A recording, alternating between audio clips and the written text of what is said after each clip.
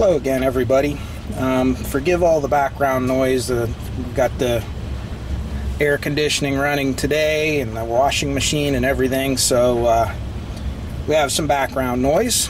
But uh, I never realized what a can of worms I was going to open by building this little amplifier. I got a lot of uh, comments in a very short time, and it's just way too much for me to respond, so I thought it would be easier just to do a little follow-up video to try to address some of the questions.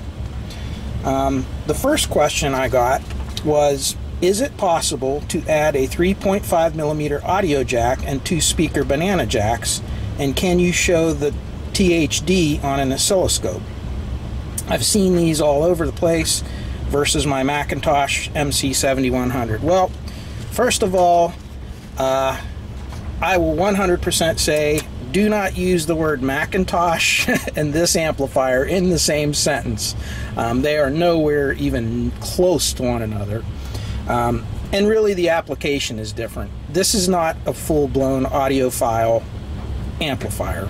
It's an inexpensive solution for somebody who wants to learn how to put together a simple kit and wants to get uh, you know an amplifier that they could use for general purposes, whether it be you know just to make a little portable speaker for your MP3 player, something like that. Um, yes, you can put a uh, an input jack very easily on this. Um, these three connections right here is left, right, and ground for your input, and it's pretty easy to uh, you can either make a little header plug like I did, or you can directly put the wires on the board and forego the header plug and just run that little coax, like a little three conductor coax you can cut off of a cheap pair of, uh, you know, earphones or something to get the shielded cable and just run it out to your jack. Um, the easiest way would be to just get a, uh, you know, like an like a headphone jack extension cord and just cut the end off and just solder the wires right onto the board. So that would be a very easy thing to do. Um, banana jacks, the same thing. Um, you don't have to put this terminal block over here. You can actually just, again, put the, the wires directly to the board and just run them out to your banana jacks. Very simple. Now, as far as uh, THD is concerned, um, I was a little bit uh, curious too. Um, if we look up here, sorry for the shaky camera, and we kind of look at our signal here, which uh, I'm getting a lot of glare. I apologize. How's that? Better? Maybe a little better, not perfect. But um, you can see the waveform up here it looks pretty round. I mean, as far as uh, there, that's better. Looks pretty pretty good as far as the sine wave is concerned. It's not perfect, but what what does that equate to in terms of total harmonic distortion? So I took the time to rig everything up and connect my distortion meter to this just to get a rough idea. I normally don't bother with all this, but if you look up here, there's my distortion meter, and I'm set to the 3% range. So that would be this scale right here. And as you can see, I'm getting about 1.5% total harmonic distortion uh, on the one channel. So that should give you an idea you know, at whatever power output. This, I'm right right before clipping, which is on this amp with this power supply is right around 8 watts, 7 or 8 watts. So really, as it sits right now, without any modifications, with the power supply I'm using, you can expect at 7 or 8 watts to get around 1 to 1.5% distortion, which is not terrible. It doesn't sound too bad. And it does drop considerably when you uh, bring the power down. Um, so it's actually not too bad. I mean, you know, it's what you would expect from a low end, low cost amplifier. And just so you know, I'm touching these transistors This thing has been running at, at full power now for probably good 10 minutes with a sine wave on it, which is a really kind of a brutal test for one of these. And, you know, these heat sinks are warm. They're actually pretty warm, but they're not so warm that you can't keep your hand on it. They're right on that edge. If you had a, a nicer heat sink, they would not even, they wouldn't even work very hard. So that's number one. Okay, that was the first question. Let me shut this off now. Question number two bridge rectifier diodes look tiny. I completely agree. Um, these are 1N4001 diodes, and that's probably one of the most commonly used diodes out there. And I can tell you, with my finger on these, they are actually physically warm to the touch. So they are struggling right now, and I'm sure that is adding to your total harmonic distortion. A 1N4007 is only rated at 1 amp uh, of current. And, you know, these transistor amplifiers, I mean, you have two channels you're driving with this. 1 amp is, you're going to exceed that. So what's that mean? That means you are really putting a big strain on these little diodes. If you were going to build this for real and you were going to use this and you were going to run it close to its rated power, this is a poor design. It's not enough. Um, you know, for a cheap thing that you're just going to listen to at, at, you know, a couple of watts volume, it would be fine. But if you were really going to try to get everything you could out of this, the components that come with this system are not ideal. Okay, what do you expect for eight bucks? And a lot of people get on the comments and they rag about this, that, and the other thing. It's Chinese junk, this, and that. It is what you pay for. And again, for somebody who is just learning this hobby, who is, has not had a lot of experience building kits, this is a very easy one to assemble. The instructions are pretty easy. Um, it's you, easy to tinker with. You can swap out parts on it very easily. Um, and it does, as you heard, it sounds pretty good as it sits from, you know, if you just put it together as is, it doesn't sound too bad. Now I did have to change the capa these two little capacitors, here and here, and I did have to modify those two resistors, these uh, R9 and R18, uh, to get rid of a little bit of crossover distortion, which would have added to the THD, I'm sure. Um, but, you know, th those are two cent parts, you know, they're very inexpensive. Uh, so it works, but it could work better. Uh, and it wouldn't cost too much to make it work better. The first thing I would do is I'd put some larger capacitors. I'd go with, you know, maybe 4700 microfarads instead of 2000. And for these, I would use bigger diodes. Um, they make, you know, they make 3 amp and 4 amp diodes. Um, you can see here, these are way overkill. They're uh, 400 volt 6 amp. Okay, and those are a, uh, let's see, a GI 821. Okay, so I mean, you could you could go to something like that, and they're not real expensive. It's a couple of you can order those online for a couple dollars. Um, you can buy these. I buy these in bulk. These are 10 amp. Uh, the only downside of that is they would probably be able to fit on the board, but you would have to um, maybe open those holes a little bit bigger. You'd have to be very careful to do that.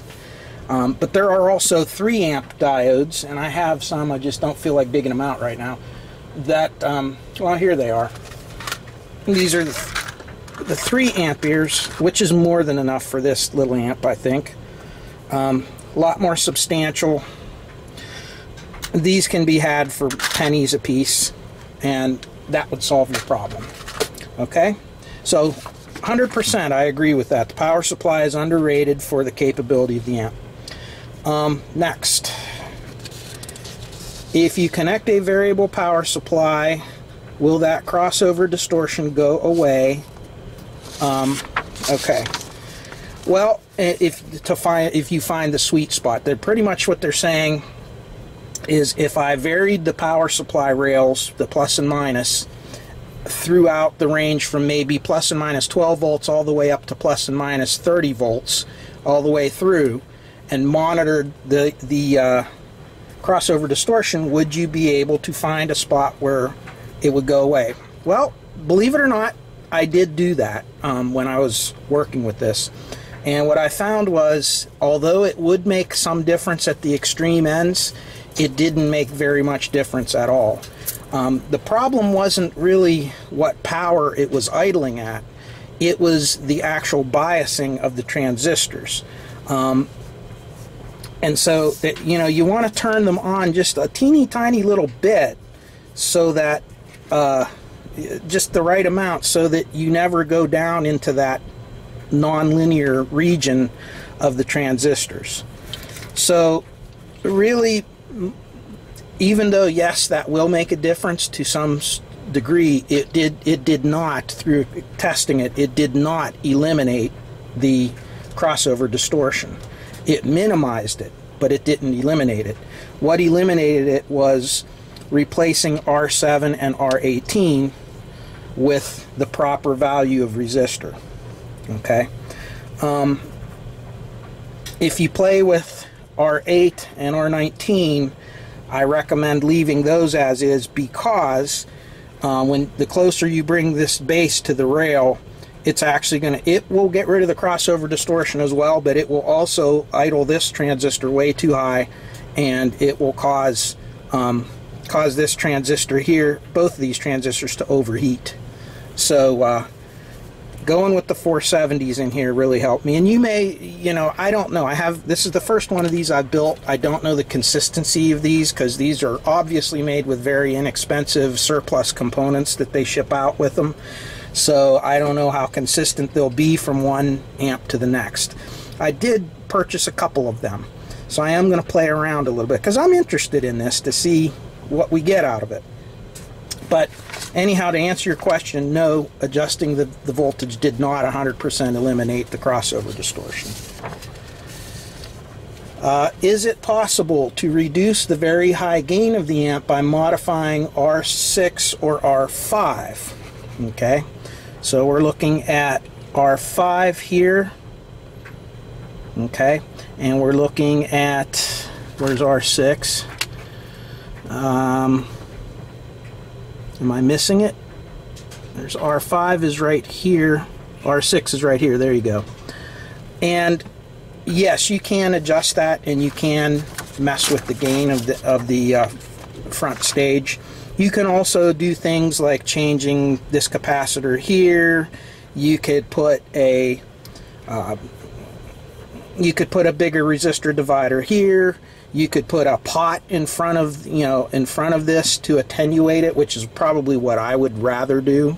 Um, but what I've found is there's a reason why they put that high amount of gain on there, and the reason is that what I found is your standard MP3 player, like your cell phone or your little handheld MP3, the real cheap ones you get at wherever they typically do not have a true line level out. Um, some of them do, some of them don't.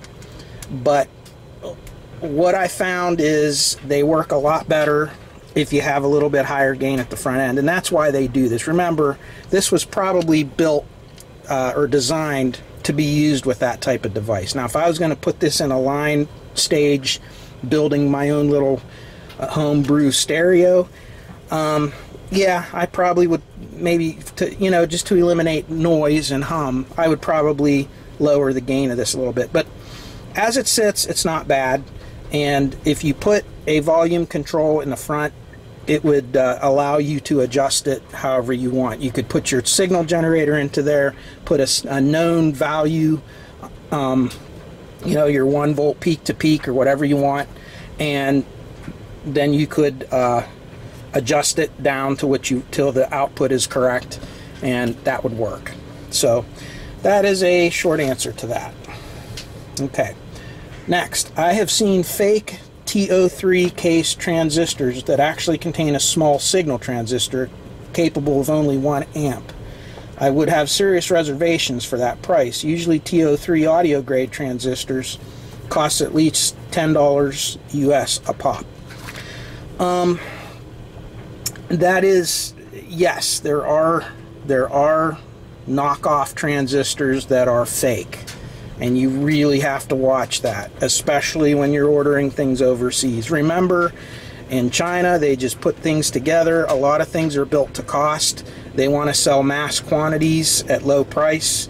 Um, if you're going to take a risk and buy something like that and you're not going to go to a reputable parts house to buy these things, just know that what you, what you pay for is what you get. Now, if you don't care, if you're looking at things that you're just using, you know, you need a switching transistor, you need some whatever, uh, yeah.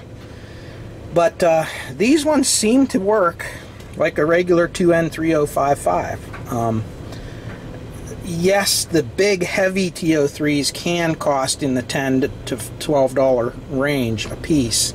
Um, but I found that uh, even at the parts houses now, if you buy you know a quantity of 10 transistors at a time or something, I have purchased some pretty substantial transistors, uh, you know, for as little as a couple dollars a piece.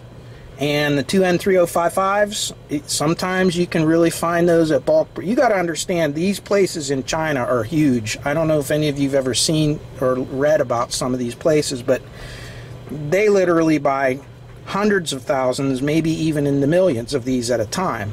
And they mass they're mass produced, and sometimes these parts are surplus from you know from a from a run of production, and they just want to get rid of them. And sometimes you can get good components at a very low price, but other times it is a sham. It's a it's a ripoff. You're getting you're not getting the correct component. It's junk. I agree. Difficulty is figuring out which ones of these things you buy like this are true surplus good components and which ones are garbage components. You really don't always have a way of knowing that. So, so buyer beware. That's all I'm going to say. If you're willing to take the risk, you'll find out that sometimes you'll win and sometimes you'll lose. And when you do win, sometimes you can really save a lot of money. So again, that's a choice that you make yourself. Um, but yes, I, I do I, I have seen that. These ones, however, seem to be pretty good. They work. Okay. Would it be possible to make a video showing how to add a volume potentiometer to this or any bare bones amp board? Um, it's a very simple process to do that. Um, so, in your input, in its simplest form, you could actually just take your potentiometer. I know I'm off the shot right now. Try to get you in here. And this, the top part, would go to your RCA jack, right? And the bottom part would go to your ground. And then the output of the potentiometer would go right up to there. Okay? Um, so basically all you're doing, since you have this coupling capacitor in this circuit, this is how you would do it. Now you got to watch on tube amps and on some of these direct coupled amps that don't have the coupling decoupling capacitor, I should say. You don't want to necessarily, when you turn this pot all the way here, you're putting this pin to ground. And that could affect the bias of the transistor in some circuits. But in this particular case, you're just fine. And if you bring this down to here that would turn the volume off. If you bring it up to here it would essentially take this out of the circuit because this is would act as a very high impedance. And we'll talk about that in a second. And it would just connect the device directly to the input for maximum volume. Now the only thing you have to remember is what size this potentiometer can be um, and you can mathematically figure it out uh, or you can just experiment with a couple different values. Typically you see much higher values on tube gear because tubes are more high impedance devices. So if this were tube, it would be maybe 500K, 1 meg, something like that. in you know in a transistor device like this, um, 50k is a good starting point. Although there, you know, there's a lot of extenuating circumstances, but typically, if you put a 50k potentiometer or even 100k would work. It's not super critical. The idea is you just don't want it to be so low of resistance that it lowers the input impedance and your device can't transmit its maximum signal when you have the volume turned all the way up. That's really all you care about.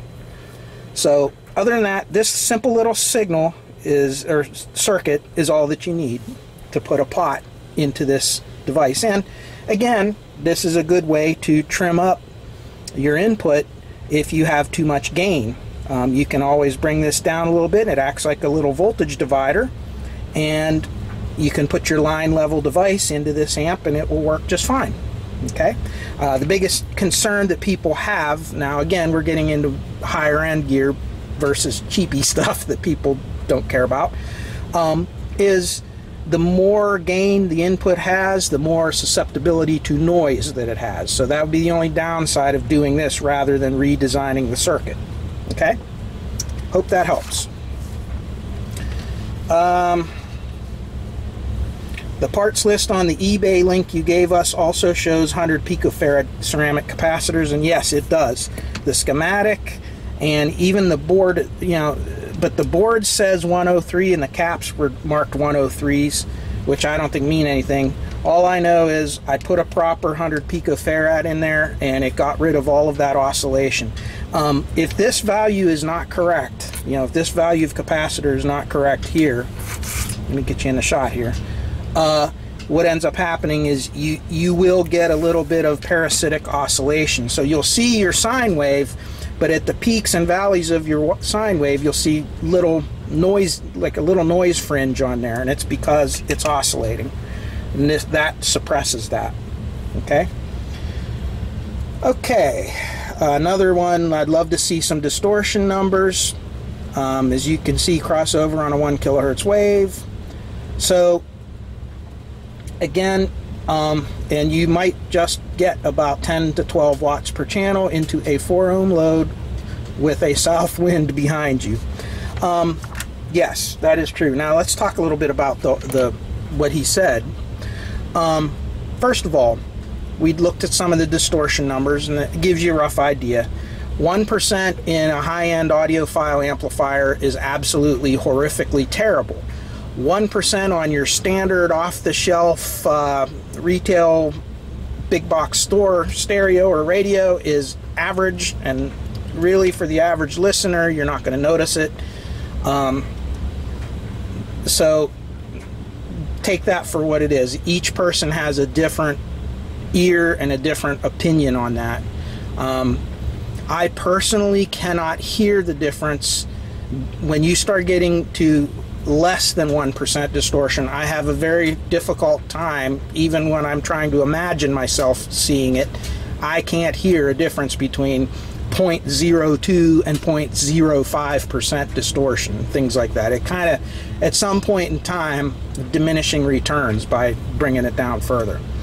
Um, this one looked like it was about 1.5% at rated power, or at maximum power, I should say, not rated power. This thing can't even go near 100 watts. We know that. Um, so, yeah, it's not bad. And I agree, if you put a 4 ohm load, I'm testing this on an 8 ohm load. Okay, a lot of these low end stereos will use eight, 4 ohm speakers to get a little more volume out of them. Why is that? Well, it's because of Ohm's law. Um, when you put lower resistance across those terminals and you apply the same voltage, Ohm's law tells you that the current is going to go up. So if the current goes up, current times volts is watts, your wattage will naturally go up. And you know, when they call a speaker a 4 ohm or an 8 ohm speaker or whatever ohm, that's a nominal impedance, but with frequency that re that resistance value or that impedance value will change with frequency. So but when the when the overall voice coil is lower impedance, yes, you will get a little more power. And I bet at a 4 ohm load on here as it sits, it would get more than that 7 or 8 watts. It would probably get closer to 10 or 12 watts. So he is 100% spot on with that. Um, the other thing is sometimes the distortion value will change a little bit by doing that. But, uh, you know, again, it depends on the circuit. Okay. Um,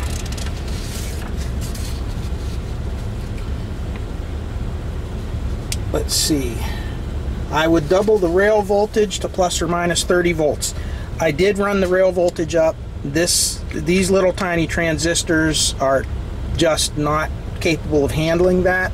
In order to do that, you would probably need to increase your, you know, put beefier driver transistors and so forth. You may have to change some of the resistor values. This thing's really happy when it's plus and minus 18 volts up to about plus and minus 20 is about the limit of what I found this thing ran cool and, comfortable at. Um, let's see what else. Uh, I think that's most of it. Oh, you are right about being suspicious about the 100 watt. We installed a 100 watt amplifier into an arena and it took two guys to carry the thing in. It could lift the roof off that building. Great vi video and I'll order one myself for a fun build. And really that's the way to look at it guys. This is not a 100 watt amp. Um, a, two, a, a real 2N3055 transistor has a maximum dissipation rating of 115 watts and I guarantee you you never want to do that on them. It gets so hot it, mm.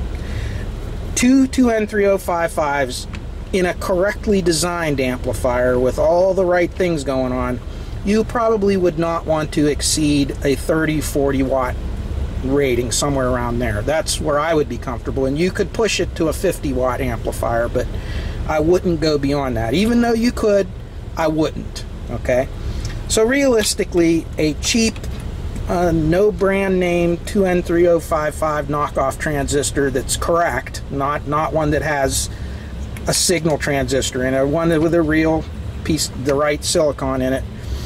I would say I wouldn't push this beyond a 15 watt per channel amplifier. Okay, so when you buy these, don't expect more than you're going to really get expect a 10 watt amplifier at best if you do all the right things. Okay, so there's a little bit of uh, you know a little bit of information about this. I hope this helps you guys out and answers your questions.